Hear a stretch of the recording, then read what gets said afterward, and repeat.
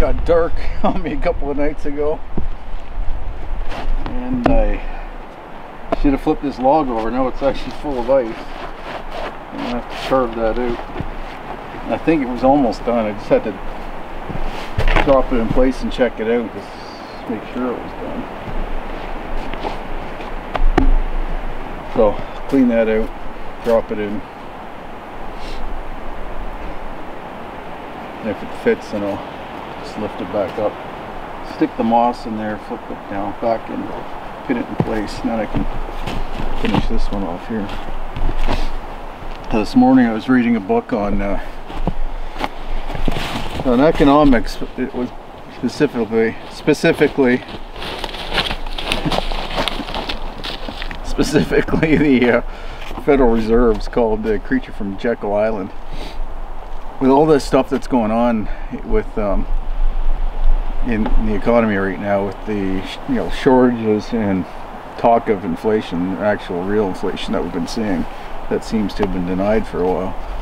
Um, I have a fairly good grasp of economics, as good as a layperson can, I guess, because I have made it a bit of a um, an interest to follow my entire life, um, especially uh, being an entrepreneur and like being in business in the past. Trying to understand the economy and how it's affecting my business and how I can uh, maneuver within that.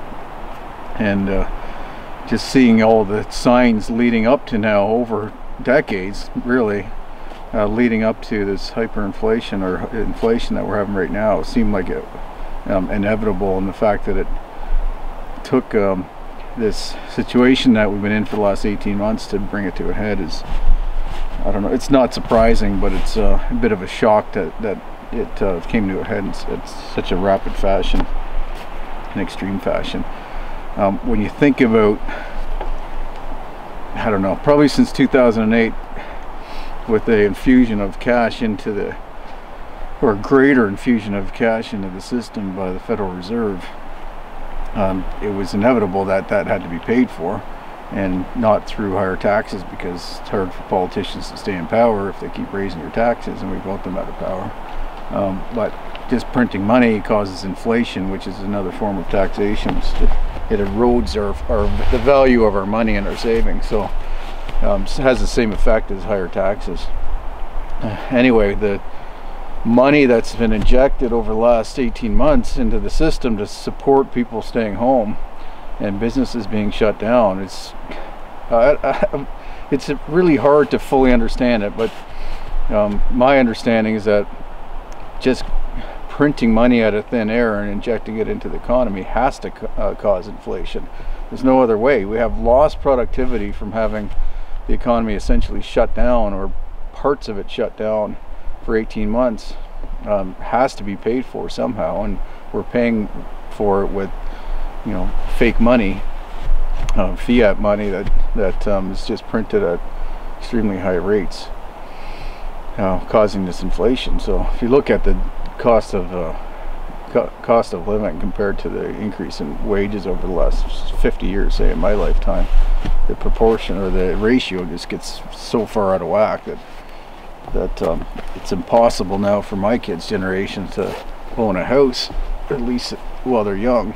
I bought my house, first house with my wife when we were, I was 26, 1996, and that was earlier than any of my friends. It was that was uh, considered fairly early at that time. Now I can't imagine uh, my kids being able to afford anything until much later than that. Anyway, my personal experience with that um, getting into business for the first time in the early 2000s. Yeah, 21. I started my uh, commercial roofing and sheet metal company in, man, there's a track of dates, 2005 I guess that was. But I'd started another smaller business two or three years earlier than that. Um, anyway, I know from that experience and those experiences that in my industry, in the construction industry, profit margins of around 3% were typical. So if you did a million dollars worth of work, uh, you're lucky if you had $30,000 in profit after paying your employees, your overhead, and yourself. So for any kind of shutdown to happen, like if I was still in business, over the last 18 months and had to shut my business down or had to deal with all these uh, different uh, health measures, it would have killed me. It would have put me out of business within a matter of a few months. And um, the business was fairly young, so I didn't have a cash reserve built up. This is prior to my the failure of the business ultimately anyway, which happened essentially as a result of the 2008 financial crisis. Um, soon as there was any kind of interruption in the flow of money from my customers, I went out of business essentially with a bunch of other factors leading, uh, causing that as well. But anyway, um, point being that personal finances, personal, you know, household uh, finances and business finances typically can't support any kind of interruption. So when you have an interruption like we've had um, with this health scare over the last 18 months, um, every business and a lot of families end up, well, not every business, some have thrived, but most businesses and most families have ended up in a deficit that um, can only be erased essentially through this creation of fake money into the system. But what that does is then just creates inflation, and then the things that you need to buy to survive and to thrive and to be um, occupied end up being more money or costing more money, and it doesn't seem um, seems manageable at first, but when that starts to accumulate, that, that inflation starts to build and income doesn't return to normal or doesn't exceed normal in order to make up for the losses, then there's an inevitable, inevitable uh, failure personally and, and in business and then governments as well. So anyway, all of that has forced me to start reading more again on economics, broader economics, and trying to figure out how to prepare for that one of the things that we're looking at is if if inflation is going to continue to erode the value of our savings and of our income, what's the best way to hedge that? So in other words, where do you put your money now? Where do you spend your money um, in order to offset future costs? and I kind of joke that the safety glasses everybody's been sending me is kind of one of those hedges, right? So, um, safety glasses in my pocket today that I don't have to buy 5, 10, 15, 20 years from now is um, is sort of a hedge on inflation. So, even if I was to buy those things now at today's dollar, and the increase in uh, or the decrease in the value of the dollar over time is greater than the increase in productivity, then it makes sense to own those durable goods and to purchase those durable goods. And it really, it supports the theory that I've been um, proposing for so since the beginning of my self-reliance, I don't half a decade ago or more.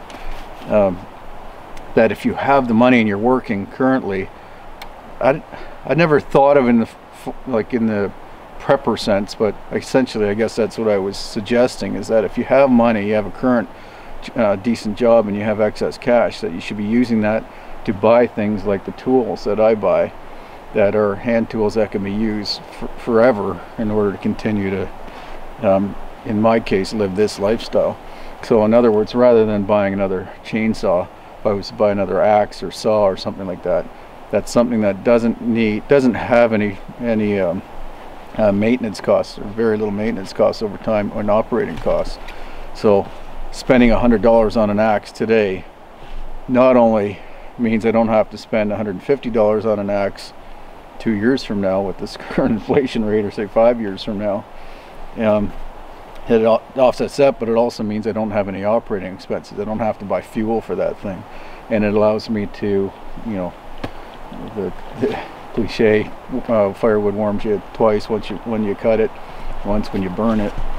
Um, that, that kind of applies and it applies to a lot of things. When you're using hand tools there's there's more than one benefit. Um, health for example staying physically fit and therefore you know as you're using that tool and therefore um, creating um, a better future for yourself but also lower costs in the form of healthcare. So I try to look at everything I do and and uh, purchase and own based on that um, based on multi-functionality things that bring more value to me and my family than would you know first be implied by the item itself.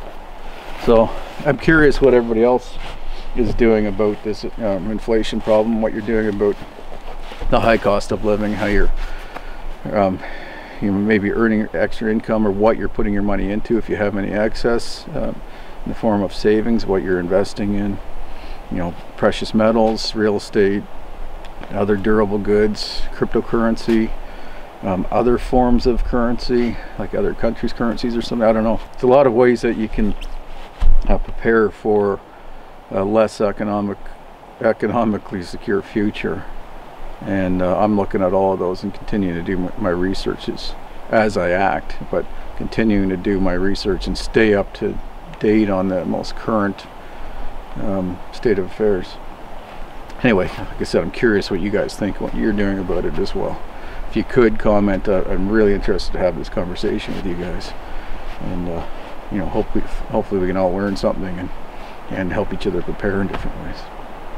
Anyway, back to work. I'm gonna get uh, get this thing in place and get another log or two before the next snow squall comes in.